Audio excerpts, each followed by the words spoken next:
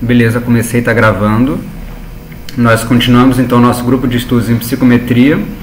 Lembrando que nós estamos no livro Handbook of Item Response Theory e dessa vez nós vamos entrar no capítulo 4, que fala sobre é, o modelo nominal.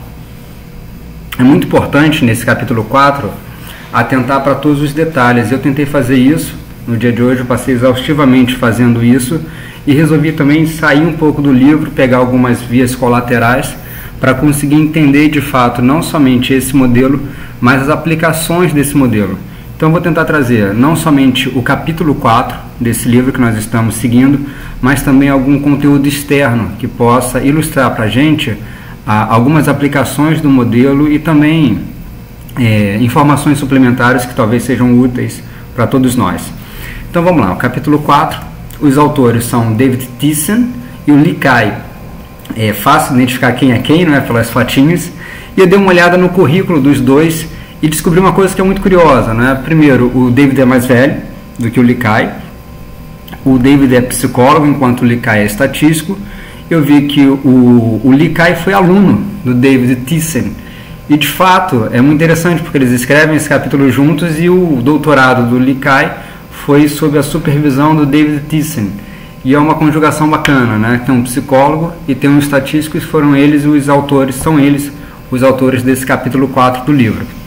Eu deixo aqui para vocês a, a qualificação dos dois segundo eles próprios, ou seja, simplesmente copiei e colei do website dos dois, então vocês podem entrar lá e dar uma olhada.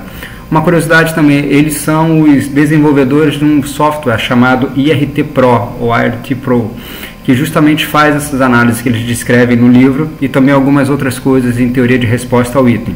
Nós vamos ver ao fim da, do nosso não é, não é aula, né? Ao fim do nosso encontro de hoje, que eu já tentei implementar algumas das coisas que eles falaram em uma sintaxe no R que eu deixo aqui para vocês ao fim. Então vamos lá, temos vários modelos de resposta nominal, não é? O, então coloquei aqui o tipo de resposta e o modelo. Se a resposta é ordenada, o modelo mais comumente utilizado é o modelo chamado GRM, Graded Response Model. Se a resposta é parcialmente ordenada, normalmente nós vamos para o modelo de crédito parcial, Partial Credit Model, e se a resposta ela não é ordenada, ou pelo menos a gente acredita que não tem ordenação nenhuma por detrás daquelas respostas, ela, nós estamos com um modelo chamado modelo nominal.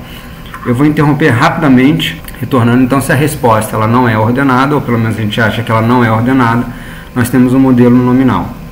Eu peguei aqui dos primeiros slides também de conteúdo externo, um grande apanhado para que todos entendam a ideia de TRI, né? ou em inglês IRT ou IRT.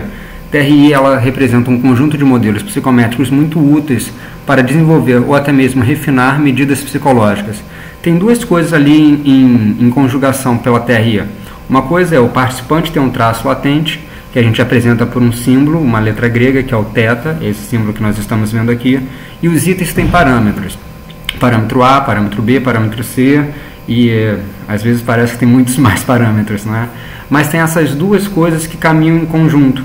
O participante tem um θ, tem um traço latente, uma habilidade, por exemplo, inteligência, uma habilidade, e os itens têm parâmetros, por exemplo, um parâmetro de discriminação, um parâmetro de dificuldade. Com isso é possível posicionar os itens e os sujeitos em uma mesma escala do θ, ou seja, o traço latente é visto em um contínuo e com isso a gente vai posicionar os itens e os sujeitos nessa mesma escala, o que é extremamente importante hoje. E nós temos duas curvas, né? A curva de informação dos itens e dos testes apresenta a quantidade de informação que um item ou um conjunto de itens traz a respeito do contínuo desse traço latente, ou seja, é uma grande revolução em relação à psicometria, ela veio para então, não sei se vai ser forte mais, mas de certa forma para substituir o que nós tínhamos antes, que é a teoria clássica dos testes. Né? Entrando aqui de fato no nosso, modelo, no nosso livro, no capítulo 4, então ele coloca que o modelo de resposta nominal foi originalmente proposto por Bock em 1972, depois que Samejima, em 1969, descreveu o primeiro modelo geral da TRI para itens politômicos.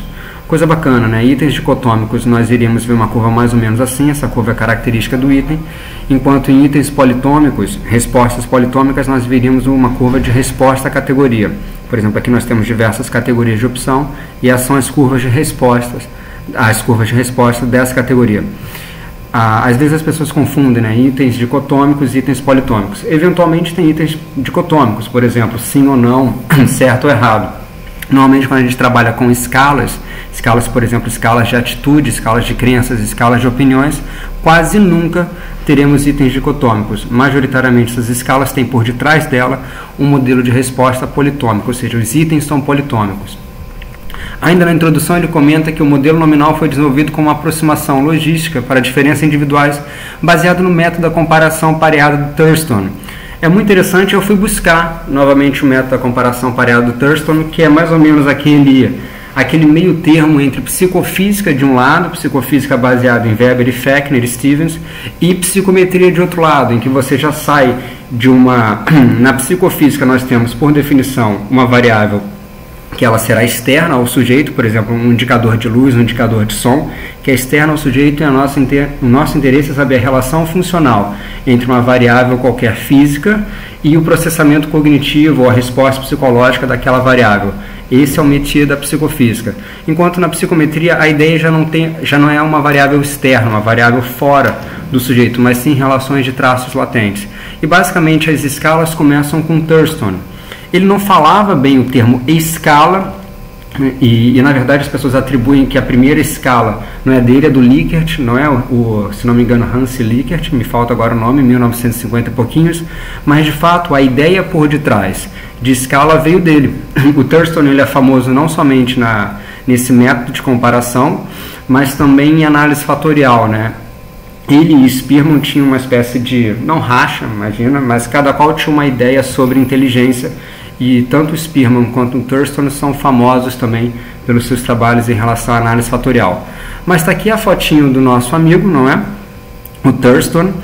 E vou ler aqui uma parte dos slides para vocês. Ele se inspirou no método psicofísica para quantificar atitudes, ou seja, agora você sai de uma medida externa e você tem de uma variável externa, desculpa, e você tem agora variáveis latentes. Ele desenhou um tipo de pesquisa em que os participantes comparavam nacionalidades. Então ele chegava para os estudantes dele, que eram participantes, né, ele perguntava o seguinte: você prefere brasileiro ou uruguaio, por exemplo? A primeira, a primeira investigação dele nessa, nessa relação de estudar atitudes veio justamente pelo julgamento comparativo de nacionalidades. Então a pessoa falava, ah, prefiro brasileiro. Outra pessoa falava, prefiro uruguaio. E depois nós tínhamos outras combinações em que duas nacionalidades eram apresentadas, aquele participante, ele deveria escolher. A repetição dessa técnica permitiria desvelar os padrões por detrás do julgamento, e o Thurston acreditava que isso poderia chegar, chegar a uma lei do julgamento comparativo. Lei da mesma forma que nós temos em psicofísica, na né? lei da sensação de Weber-Fechner. Então, justamente o que o Thurston queria era chegar por detrás dessa sua pesquisa a uma lei do julga, julgamento comparativo, e ele fazia isso a partir de proporções, né? que de fato nós temos aí uma, o que a gente chama em inglês de count data, é, dados de contagem. Ele também é o fundador da revista Psicométrica, então nós estamos em uma ótima companhia, de longe uma ótima companhia, e ele que deu mais ou menos esse início ao que nós temos hoje em relação a escalas de atitude.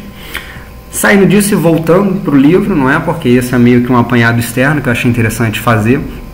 Diferentemente da maior parte dos modelos em teoria de resposta ao item, o modelo nominal é melhor entendido como um modelo geral que possui mais parâmetros livres.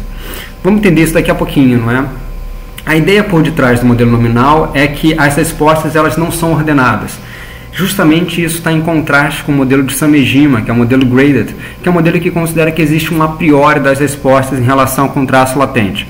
A ideia mais fácil de nós entendermos isso é, é de fato lembrando a, a lei do julgamento comparativo, né, as comparações pareadas que o Thurston fazia. Uma ideia é just, uma ideia é justamente você ter uma escala em que você tem respostas ordenadas. Por exemplo, quando, fico muito nervoso quando as pessoas me interrompem quando eu estou na internet. Eu posso responder nunca, um pouco, muito, demais. Por exemplo, quatro categorias ali de resposta que por uma ideia muito simples elas são ordenadas, não é? Tem um contínuo de traço latente. Nós não sabemos se elas são ordenadas e, perdão, nós não sabemos se elas são equidistantes, mas certamente são ordenadas. Uma outra coisa é você prefere Brasil ou Uruguai. Ou você tem um item ali, um item de múltipla escolha em que você tem distratores e uma determinada resposta correta. Ou seja, você não tem uma ordenação por detrás. A ideia do modelo nominal é justamente trabalhar onde você não tem respostas ordenadas. Eu trouxe aqui também alguns apanhados do Chalmers, vocês vão ver que ao fim da, da nossa, do nosso encontro de hoje eu vou trazer uma sintaxe em R, que eu fiz hoje. E eu peguei aqui algumas coisas interessantes que eu vi de publicações do Chalmers, né, que é o autor de um pacote chamado MIRT, que ele comenta que os parâmetros A e B, que classicamente todo mundo sabe que são relacionados à discriminação e dificuldade, não devem ser vistos como discriminação e dificuldade no modelo nominal, mas sim como a ordenação das categorias. Talvez fique um pouco mais claro quando a gente entende o um modelo matemático por detrás, né? Diferente dos outros modelos, o modelo de Bock tem um S aqui, que eu até fiz questão de marcar em vermelho, onde de fato a, o, a, o S, não é? esse símbolo S, vai nos transformar numa matriz que vai ordenar as respostas. Então, o grande diferencial do modelo nominal é que por detrás dele não tem uma restrição em relação à ordenação das respostas. E mais recentemente nós temos um modelo nominal multidimensional, que me parece foi desenvolvido pelo Thyssen e uma equipe de pesquisadores junto com ele, e que em vez de você ter uma matriz, agora você vai ter um vetor para o S, ou seja, você vai conseguir concatenar ali outras dimensões além de uma. Então, basicamente, hoje, aquelas, aquelas, aquelas limitações que nós tínhamos mais antigamente em relação à TRI, que era, por exemplo, a unidimensionalidade, isso hoje já não se faz mais verdadeiro. Tem uma comparação que o, uma comparação, não, desculpa, uma relação que o autor traz com os outros modelos, já dá para entender que o modelo nominal é um modelão grandão, funciona como um grande template para outros modelos, e dependendo da restrição a gente vai chegar em outros modelos, entre ele o modelo de crédito, modelo de crédito parcial generalizado, e também o Graded Response Model, que nós vimos ainda há pouquinho, né, que justamente o tanto modelo nominal quanto o modelo GRM são modelos muito similares. A grande diferença é que no graded nós temos por definição a priori a ordenação das categorias. O autor também, os autores também comentam, né, professor e estudante agora, os autores descobrimos isso logo no início, que a estimação dos parâmetros se faz pela máxima verossimilhança, que normalmente a gente apresenta com ML por conta do inglês, Maximum Likelihood, e seus derivados, como a Marginal Maximum Likelihood, e todas elas utilizando o algoritmo EM.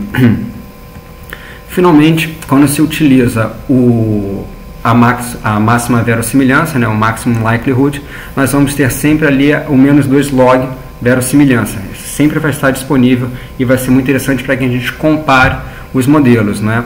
A razão da verossimilhança, ou Likelihood Ratio Test, que é justamente uma das formas que nós temos de ver e decidir por algum modelo específico, ela vai ser feita comparando os modelos alinhados ou modelos hierárquicos.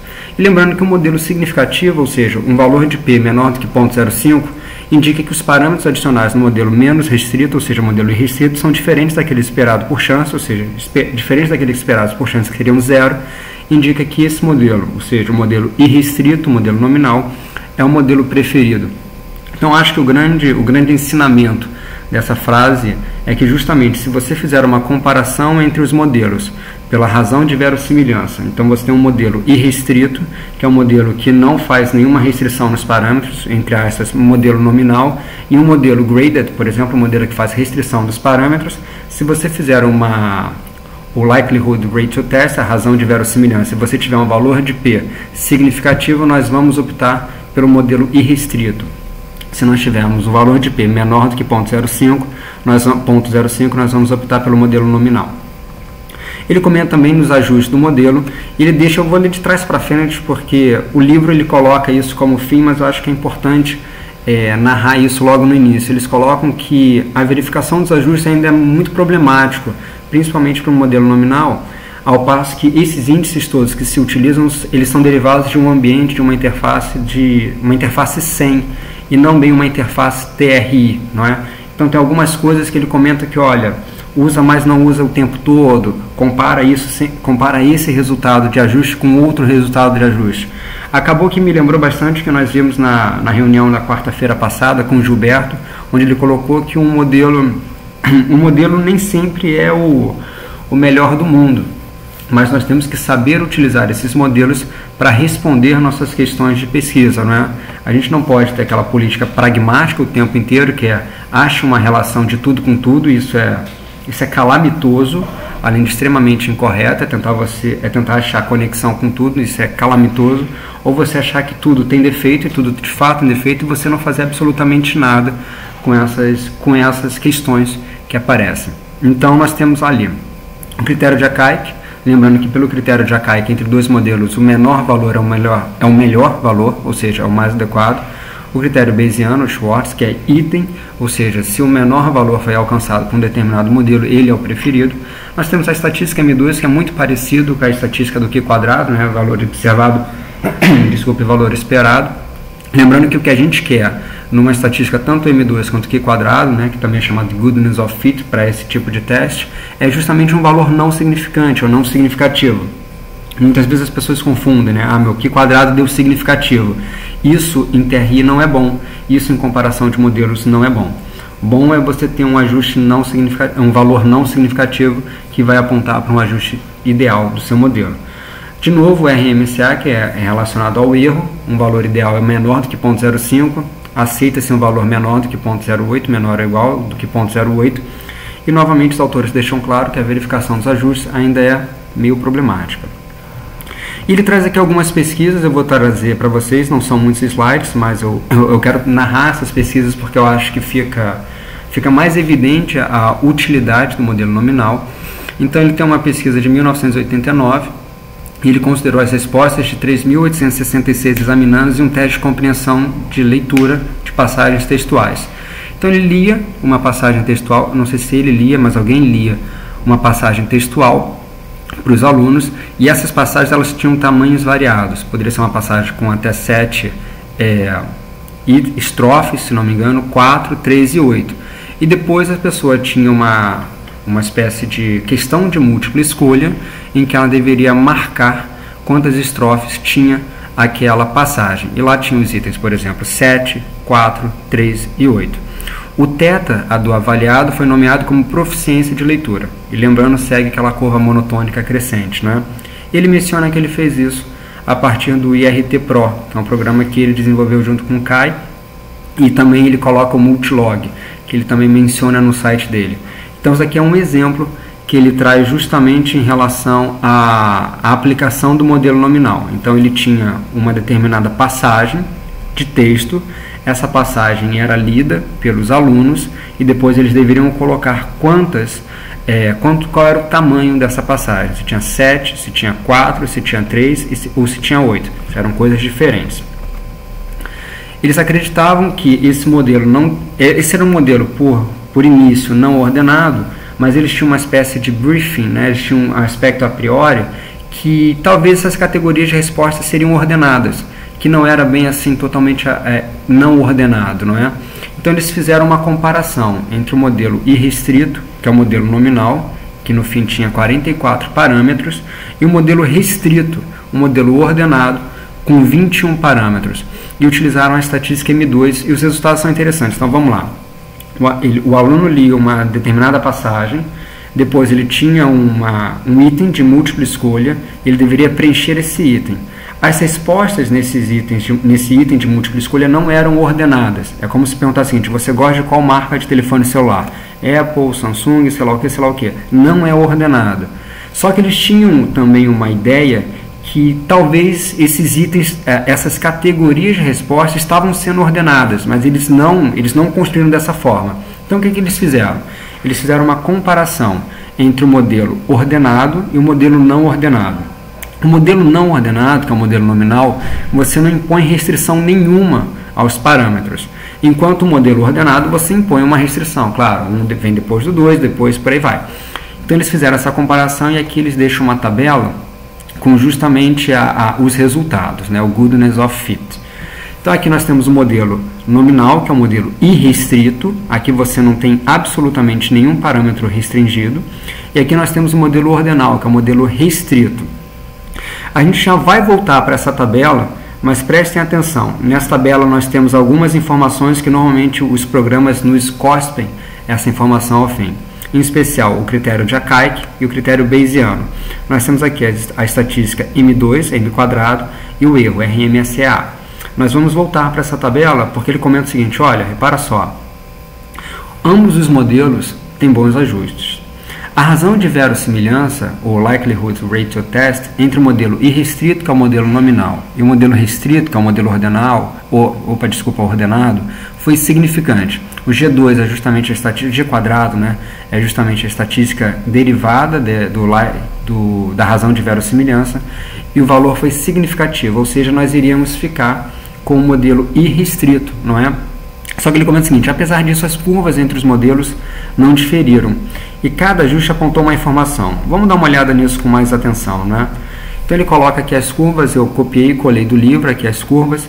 Uma curva é a curva com traço sólido, é o modelo ordenado, e outra é tracejado, não é o dotted, que é o modelo nominal. Se vocês repararam, de fato, a maior parte da, dos dois modelos você tem um grande overlap, você não consegue identificar qual modelo nominal e qual modelo ordenado. Então ele comenta, olha, de fato as duas, as curvas de ambos os modelos, as curvas de informação dos itens, tu, das categorias, de todos os modelos, meio que tem um overlap. É muito difícil é, discriminar quem é quem. E cada um dos ajustes deu um, um, uma informação diferente, ou seja, ele pegou uma bússola e uma hora a bússola apontava para um lado, uma hora a bússola apontava para o outro. Então aqui o modelo nominal, que é o modelo irrestrito, você não impõe nenhuma restrição aos parâmetros, pelo critério de Akaik, ele é melhor, porque repara só, o critério de Akaik, com valor, se o valor for baixo, isso é bom. Então aqui nós temos o valor 46207 em comparação com o valor 46210 então, pelo critério de Akaik, o modelo nominal é o melhor. Enquanto pelo, pelo critério de critério Bayesiano de Schwartz, o modelo restrito é melhor, porque veja só, novamente segue a mesma lógica, então valores baixos são melhores. Então, no modelo irrestrito ao modelo nominal, o, esse output foi 46482, enquanto no modelo ordenado, né, o modelo restrito, foi 46342. Esse modelo aqui está melhor. Os dois são os dois são considerados adequados em relação à estatística M2, lembrando, um valor não significativo é o melhor valor possível, e o erro aqui foi igual, né? Foi não é zero, né? Mas 0.000 muitos zeros ali antes de alguma coisa. Então, de fato, cada um dos ajustes está apontando para determinada determinada direção. No caso, eles optaram pelo modelo graded, o que me foi uma surpresa, né? Porque o capítulo é todo focado no modelo nominal, mas eles optaram pelo modelo graded, atribuindo essa escolha ao princípio da parcimônia. No caso, o princípio da parcimônia é justamente aqui nós temos, é, vou retornar aqui só um segundo, nós temos um modelo em que nós temos 44 parâmetros e um modelo com 21 parâmetros. Pelo princípio da parcimônia, o melhor modelo é aquele que com menos parâmetros consegue alcançar o mesmo resultado. Então, de fato, pelo princípio da parcimônia, o melhor modelo seria o modelo graded. Então, eles aproveitam para mostrar que, de fato, tem uma grande convergência entre os modelos e, para mim, ficou um ensinamento que é importante testar modelos quando a gente faz análise baseada na teoria de resposta ao item. Mas me foi uma surpresa porque eu achei que eles iam ter como predileção o modelo nominal, ainda mais pelo capítulo ser pautado nesse modelo. Ele dá um outro exemplo, não é? O modelo de resposta nominal também pode ser utilizado para criar a ordenação de itens que não, possui, que não a possuem a priori. Então ele pega esse exemplo, um exemplo muito recente, não é um exemplo de 2012, a não ser que esse vídeo continue na internet até 2070, eu já vou estar morto, e a pessoa fala, nossa, que coisa velha. Mas é um exemplo recente para quem está em 2017, e a ideia era o seguinte: tem um teste chamado teste de julgamento situacional, em que você descreve situações diárias que podem ocorrer com todos nós em ambiente de trabalho, por exemplo. Me lembrou muito uma pesquisa que a gente está fazendo, mas você descreve situações que podem ocorrer no dia a dia e você pergunta o que, que a pessoa faria naquela situação. Esse é chamado de teste de julgamento situacional e a pessoa tem aqui algumas opções de resposta e de fato não tem uma ordenação por isso, ou seja, não tem uma resposta certa nem errada e não tem um contínuo, como por exemplo uma escala de depressão, uma escala de atitude, uma escala que mede a ansiedade. Então vamos lá, o exemplo que ele coloca é justamente o seguinte: imagine que você trabalhe numa empresa, você sabe que alguns insumos eles devem ser transferidos de um canto para o outro, mas não tem o equipamento. Então você sabe que determinada é, televisão, ar condicionado, sofá devem ser transferidos de um canto para o outro, por exemplo, de uma sala para outra, mas você não tenha em, você não tem disponível o equipamento para fazer essa transferência. E aí? Aí você tem as seguintes opções. Eu tenho transferir por conta própria, opção A, própria, opção A. A opção B, espero que o equipamento chegue para fazer o que deve ser feito. Opção C, peço ajuda a um colega de trabalho. Ou opção D, deixa um recado falando que a mudança deve ser feita no dia seguinte. A pessoa pode marcar qualquer uma dessas respostas. E de fato parece que não tem nenhuma ordenação por detrás disso. Até que você aplica o modelo nominal e você vê que de fato tem uma determinada ordenação por detrás disso. Aí é volta o S. Lembra daquele S? Aquele símbolo especial que nós utilizaremos nos modelos nominais para saber qual é a ordenação da resposta, não é? Que no pacote MIT a gente vai ver por AK. Então, justamente, ele viu que a, as respostas elas seguem na seguinte ordem: A, depois C, depois D, depois B. Vamos ler de novo, né? A, então eu tento transferir por conta própria, depois C, peço ajuda a um colega de trabalho, depois D, deixo um recado falando que a mudança deve ser feita no dia seguinte, eu faço isso. Ou B, é, espero que o equipamento chegue. Agora, depois que o cara me deu a resposta, parece que faz sentido, não é? Então, de fato, no modelo nominal, ele encontrou qual é a ordenação de resposta é, dessa, desse teste de julgamento situacional. O que é muito bacana, né? porque eventualmente nós iremos fazer alguma pesquisa em que você não tem de fato uma ordenação de resposta. Me lembrou muito exames de personalidade, mas normalmente nós temos uma escala Likert que tem um contínuo ali, que a pessoa marca de 1 a 7. Bom, eu vou trazer um dado meu. Inclusive, eu vou deixar disponível esses slides para vocês e vocês vão simplesmente vir aqui e clicar. Vocês vão ver que vai ter uma base e vai ter toda a sintaxe que eu criei ainda há pouquinho para que a gente possa reproduzir essas análises. Então eu vou contar essa, vou contar um pouco dessa história, não é? Nós ganhamos um patrocínio aqui pela PUC para realizar uma pesquisa de validação de instrumentos. Isso foi feito em 2015 e de fato o resultado dessa pesquisa tinha um determinado sigilo por conta da, do patrocínio que nós tínhamos ganho. Foi um patrocínio de uma empresa de seguradora chamada Mafre e agora não tem mais, já, já expirou. Então eu trouxe para vocês esses resultados, alguns dados, e de cara já mostro para vocês que isso não é um modelo nominal, não é? Mas vai ser utilizado como exemplo. Então vamos lá, nós temos um questionário, um questionário que avalia a dependência à internet. É um questionário que já é bastante, que era na época bastante utilizado na Espanha, e nós fizemos todos aqueles passos relacionados à retrotradução.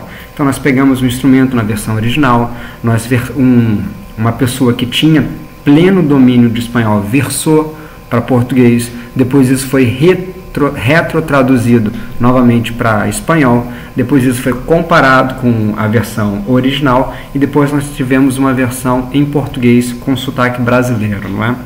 Nós fizemos isso e nós temos esse questionário chamado SÉRIA, que é um questionário, questionário de experiências relacionadas com a internet. Nós já estamos vendo que esse é um questionário, ou seja, um instrumento cujas categorias de respostas são ordenadas. A pessoa pode marcar desde quase nunca até quase sempre. Mas talvez ele nos sirva para que, gente, ainda mais por eu ter esses dados e não ter lembrado de nenhuma pesquisa que eu tenha feito com é, sem nenhuma ordenação nas respostas, para que a gente consiga depois até mesmo reproduzir esses resultados com outras coisas.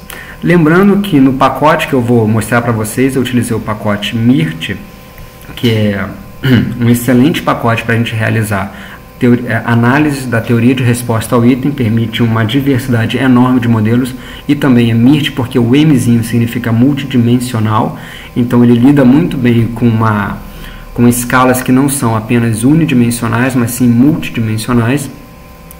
Esse cara que desenvolveu o Phil Chalmers, para mim, é um gênio, é uma pessoa extremamente ativa e muito solista. Eu já tive algumas dúvidas em relação ao pacote dele ele foi muito solícito em responder. E se não me engano, o Danilo também ele fez um, uma correção e ele implementou, ou apontou um erro e ele implementou numa das versões de atualização do pacote dele.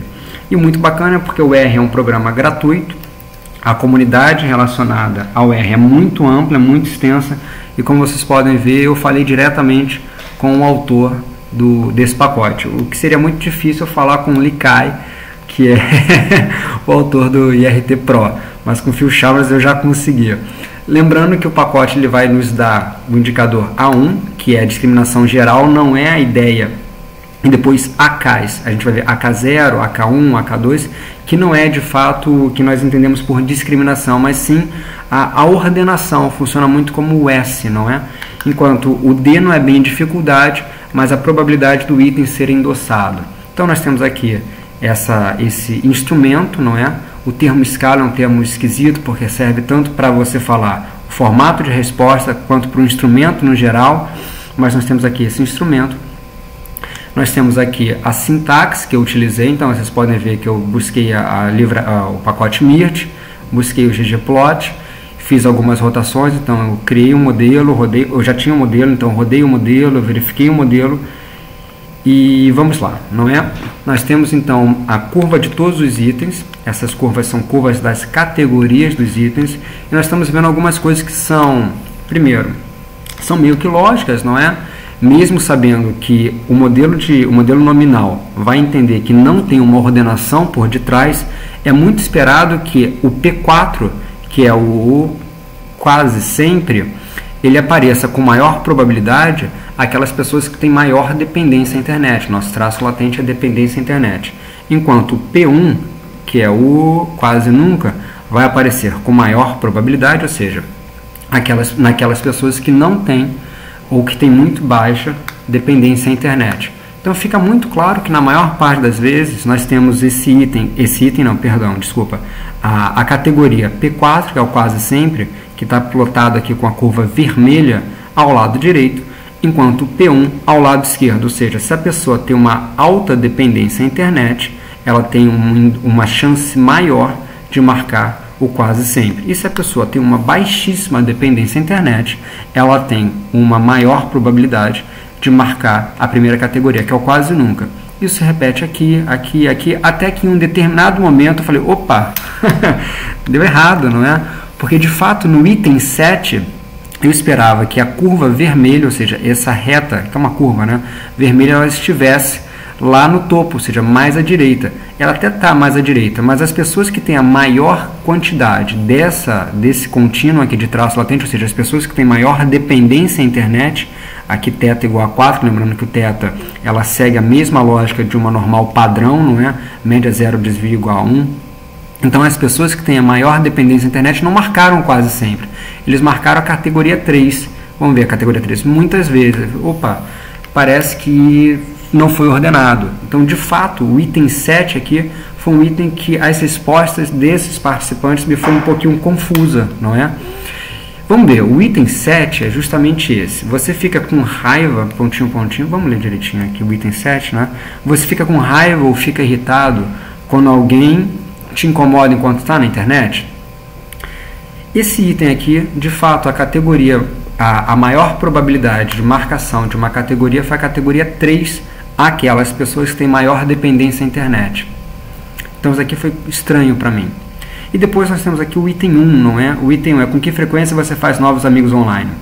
Inclusive nós criamos uma versão abreviada, uma versão mais curta dessa escala, em que esse item ele simplesmente sai e a gente não perde nenhuma informação da escala. Na verdade a gente ganha porque não é uma escala que mede. Esse item não está medindo, é só ler né, que a gente vai conseguir entender. Esse item não está medindo dependência da internet. Parece até muito pelo contrário, né? talvez alguma coisa salutar, uma coisa boa que as pessoas fazem na internet, que é novos amigos online. Então esse item aqui, como vocês podem ver, além de ser pouquíssimo informativo, é, é um item que a categoria 4, não é que era aquela categoria que nós esperávamos estar plotada com uma é, com uma curva monotônica ascendente. Aqui mais à direita não está. Então, de fato, esse item aqui é um item muito pouco informativo. E eu não sei se vocês sabem, provavelmente vocês sabem, existe uma existe um quase um overlap, tem uma tem uma diferença teórica conceitual muito grande entre análise fatorial e teoria de resposta ao item. Se você ler um livro de análise fatorial e depois um livro de teoria de resposta ao item, você vai falar são duas coisas completamente diferentes. Uma coisa é uma coisa e outra coisa é outra coisa. Me faltou exemplo, acabei utilizando esse mesmo. Só que não é bem assim que acontece. Né? Nós sabemos nas, na análise de dados que teoria de resposta ao item e análise fatorial elas, elas quase sempre chegam a resultados muito similares. O próprio pacote ele consegue plotar para a gente qual seria os lambdas, ou seja, a carga fatorial de cada item a partir, da, a partir dessa mesma rotação que nós fazemos a partir desse mesmo modelo criado pela teoria de resposta ao item. Então foi exatamente isso que eu fiz. depois vocês podem retornar e vocês veem lá a sintaxe. O item 1, como a gente pode ver que aquele item que estava muito ruim, naquelas curvas características, nós podemos ver que a carga fatorial desse item, então aqui nós temos um plot, né, em que nós temos os 10 itens da escala e os determinados pontos relacionados ao eixo y, que é a carga fatorial, tá bom? Então aqui no eixo de x ou abscissas nós temos os 10 itens e nas ordenadas ou eixo y nós temos as cargas fatoriais. Um item pode ter uma carga fatorial zero, mas ia ser quase que impossível, 1, um, isso seria quase que impossível. O que de fato nós queremos é um item que ele consiga ultrapassar algum certo critério de corte para as cargas fatoriais. Tem diversas recomendações, eu costumo utilizar ponto 3. Alguns autores falam ponto 32, por conta da explicação da variância, outros falam ponto 4, mas de fato, menor do que ponto 2 não dá. Então, esse item aqui é um item ruim, é um item que, se ele for suprimido de uma próxima versão dessa escala, será mais interessante. E o que, que eu fiz agora? Eu criei justamente um modelo graded, ou seja, vocês já estão entendendo o que, que eu vou fazer, não é? Eu tenho um modelo irrestrito, que é o um modelo nominal, e o um modelo restrito, que é o um modelo ordenado, modelo graded. Então aqui eu novamente estou puxando pelo pacote, eu tenho aqui a minha base de dados, eu tenho aqui a quantidade de dimensões, lembrando que o pacote do Chalmers lida muito bem com, com itens multidimensionais, com escalas multidimensionais, e aqui eu tenho o item type, que não precisa colocar item type, basta você colocar qual é o modelo que você deseja. Então aqui eu tenho o modelo graded, ou seja, nesse modelo de fato eu estou partindo com uma construção a priori que esses itens, as categorias de resposta, elas são ordenadas, ou seja, esses itens eles são ordenados em relação àquilo que está sendo medido. Agora sim fez mais sentido, não é? Agora nós vemos que parece que corrigiu aquilo que nós tínhamos visto. Corrigiu não, porque a gente não pode falar que está certo e errado nesse sentido. Né? São dois modelos, os resultados são diferentes, mas agora, para mim e para os outros pesquisadores, é, fez mais sentido Agora, as categorias estão ordenadas naquele item 7, que aí você fica com raiva ou irritado, se não me engano, quando alguém te incomoda enquanto está na internet. E novamente, apesar do item 1 ter alterado um pouquinho as suas curvas características, ele continua muito ruim, né? ele continua muito pouco informativo aquilo que, eu tava, aquilo que nós estávamos querendo medir à época. Novamente, o item 1 atenção às ordenadas, a escala das ordenadas foi alterada. Naquela primeira plotagem, começava com ponto 2, se não me engano agora ponto 3, então a escala alterou, mas o item 1 continua é, abaixo daquele ponto de corte que nós esperávamos para manter esse item no instrumento numa versão futura. Além disso, a gente pode ver que eu comparei esses dois modelos, eu fiz uma nova entre esses dois modelos e também eu pedi uma, uma comparação fazendo um bootstrap. E aqui nós temos justamente os resultados, né? Nós temos o resultado. O primeiro modelo, que é o modelo em verde, é o modelo nominal, e o segundo modelo, o modelo em roxo, o modelo graded. Aqui nós temos o critério de Akaik, o modelo graded foi menor do que o nominal, lembrando, com menor o critério de Akaik, melhor é o modelo. E depois o critério de Schwartz, o critério Bayesiano. Novamente, o modelo graded foi menor do que o modelo nominal. Novamente, quanto menor nos critérios de informação, melhor. E finalmente, nós temos a nossa ANOVA, em que essas informações nós acabamos de ver, mas aqui o P foi não significativo, ou seja, nós ficamos com o modelo é, graded, um modelo que foi o que nós tínhamos escolhido à época, que ele é o mais indicado para essa escala que de fato, por definição né, teórica, ela é ordenada. E quem gosta de R, não é, pode trabalhar com Shine. Nós falamos isso logo no primeiro, no primeiro encontro. E pelo próprio Shine você consegue é, entender como essas coisas funcionam. Quando você digitar aquele comando no R, você vai ter uma janela como essa e você vai poder escolher dentro das opções o modelo que você deseja verificar e você vai conseguir ter rapidamente um, um plot das curvas de cada um desses itens. Então fica fácil de você entender qual é a vantagem de um modelo e qual é a vantagem de outro modelo. Aqui tem toda a sintaxe que eu utilizei, caso vocês queiram utilizar também, tem toda a sintaxe, lembrando que a base de dados está disponível nesses slides que ficaram para todos vocês. E finalmente o autor deixa uma conclusão muito breve, muito abreviada, que ele fala que desde a introdução desse modelo, em 1972 por Bock, o modelo de resposta nominal tem sido majoritariamente utilizado na TRI unidimensional. Ainda estão em aberto questões, ainda estão em abertas, né, questão, questões relacionadas às restrições necessárias para modelos multidimensionais. Foi o que nós vimos, isso seja muito mais recente. Eu espero que a aula tenha ficado, a aula não, desculpa, eu espero que essa, esse encontro tenha deixado claro a importância do modelo nominal, tenha visto as contribuições que ele apresenta e que vocês tenham tido insights de como utilizar esse modelo na prática de vocês. E mesmo que vocês não tenham esses insights nesse momento, a base de dados e a sintaxe está disponível, estão disponíveis para que vocês possam chegar às mesmas conclusões e aos mesmos indicadores que eu cheguei considerando aquele, aquela base de dados daquele instrumento. Novamente, é um prazer estar aqui com vocês. E lembrando que os nossos sites, né, a Nova, que é meu, e Cogmetrics, que é compartilhado por muitas pessoas, é, eu espero que vocês encontrem nesses sites também um bom refúgio de informações em relação à psicometria. Vou acabar aqui o nosso vídeo e vou abrir para perguntas, tá bom?